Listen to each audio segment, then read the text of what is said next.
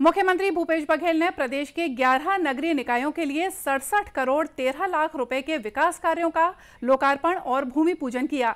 साथ ही उन्होंने बीरगांव में राजीव आश्रय योजना के तहत पट्टा वितरण की शुरुआत भी की।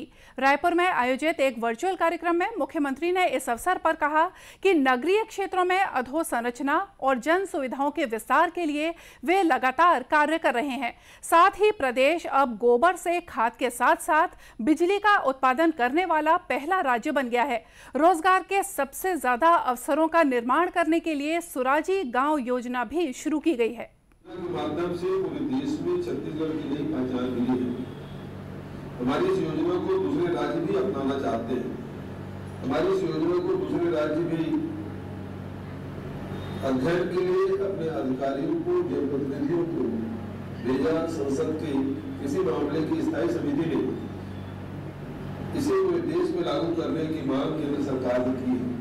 जब हमने दो रुपये किलो में गोबर खरीद खरीद कर वर्तमान में जैविक खाद निर्माण की शुरुआत किया, इससे हमारी खेती में भी बदलाव की शुरुआत हुई। रासायनिक खाद और हमारी गुणवत्ता कम हुई है, खेती की लागत कम हुई है।